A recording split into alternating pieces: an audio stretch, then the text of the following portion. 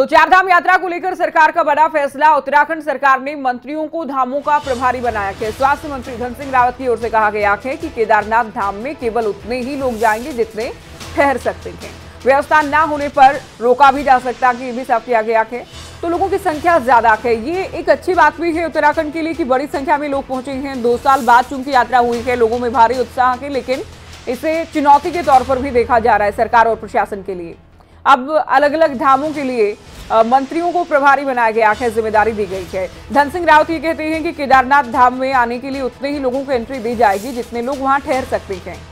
हो सकता है कि ज़्यादा संख्या में लोग पहुँचे, उन्हें रोक भी दिया जाए। तो चार धाम यात्रा जारी है, चारों धामों पर बड़ी संख्या में लोग पहुँच रहे हैं। धन सिंह रावत क्या कुछ कह रहे हैं इसे लेकर आयु सुनते हैं।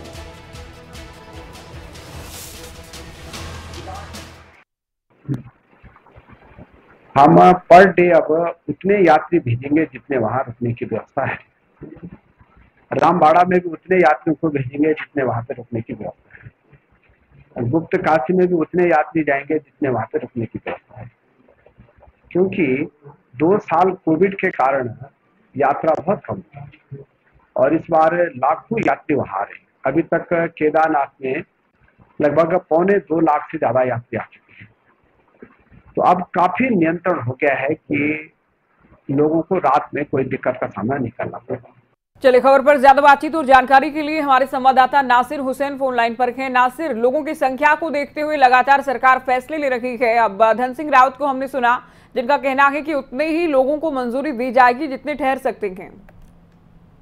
देखिए बिल्कुल चारधाम यात्रा शुरू हो चुकी है चारधाम यात्रा में क्योंकि केंद्र सरकार की तरफ़ से जो मॉनिटरिंग की गई थी, उसमें कई श्रद्धालुओं की मौत के कारण मौत हुई और जिसके बाद वहाँ से निर्देश दिए गए हैं कि जो चारधाम यात्रा है, उसको इस तरीके से व्यवस्थित की जाए ताकि लोगों को किस तरह का परेशानी का सामना न करना पड़े और जो ग्रेजुअलिटी हो रही है।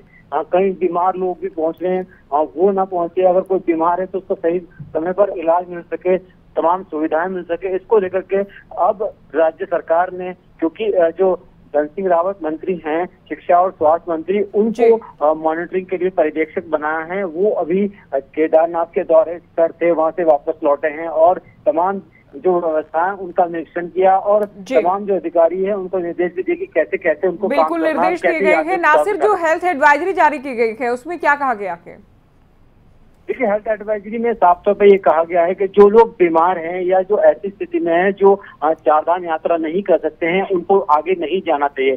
फिटनेस का सर्टिफिकेट उनको लेना होगा और तभी वो आगे चारधाम यात्रा के लिए जा सकेंगे। यानी जो गंभीर बीमारी से ग्रस्त है, सिर्फ़ वो व्यक्ति नहीं जा पाएँगे, बाकी लोग यात्रा कर सकते हैं। जी। तो हेल्थ एडवाइजरी जारी की गई है। साथ ही पंजीकरण को लेकर भी नासिर कह दिया गया है कि जिनका पंजीकरण होगा, केवल वो आ सकते हैं। अगर नहीं हुआ तो ऋषिकेश में रोका जाएगा।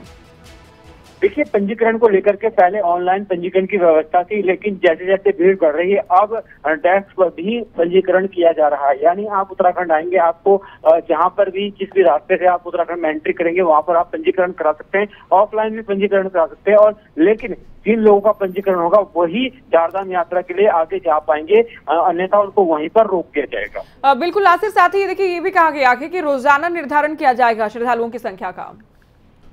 देखिए, बिल्कुल वहाँ की व्यवस्था देखी जा रही है, कितने लोग पहुँच गए हैं, क्योंकि कई रास्तों से लोग अलग अलग रास्तों से भी पहुँच रहे हैं। और जो स्थानीय लोग हैं वो भी यात्रा कर रहे हैं तो ऐसे में वहाँ की संख्या को देखते हुए रोज़ाना ये कितने लोग कितने लोग जाएँगे ये तय किया जा रहा है और उस, उसी हिसाब से लोगों को आगे जाने की इजाज़त दी जा रही है। बिल्कुल नासिर बहुत शुक्रिया। ये पूरी जानकारी आपने दी तो अब तक क्या फैसले सरकार की ओर से लिए गए हैं? हमारे संवाददाता आपको जानकारी दे रहे थे बताया गया कि ऑफलाइन का भी अभी प्रावधान तो है व्यवस्था के लेकिन अगर कोई बिना रजिस्ट्रेशन के पहुँचा तो उसे ऋषिकेश में रोक दिया जाएगा। पहली बात। दूसरी बात एडवाइजरी जारी की गई है उसे लेकर भी कहा गया कि जो लोग फिट हैं या फिर जो ज़्यादा बुज़ुर्ग हैं, वो ज़्यादा हाइट पर ना जाएँ, क्योंकि कुछ लोगों की जान भी गई है चारधाम यात्रा में। इसके अलावा जितने लोग ठहर सकते हैं, जितने लोगों की व्यवस्था हो सकती है, केवल उतने ही लोगों को आगे मंजूरी दी जाएगी। इसके अलावा जो मंत्री हैं, उनकी ड्यूटी लगाई गई है चारों में और वो प्रभारी बनाए गए हैं, वो पूरी व्यवस्था को देखेंगे। तो सरकार और प्रशासन इन दिनों चारधाम यात्रा को कामयाब बनाने में जुटे हैं।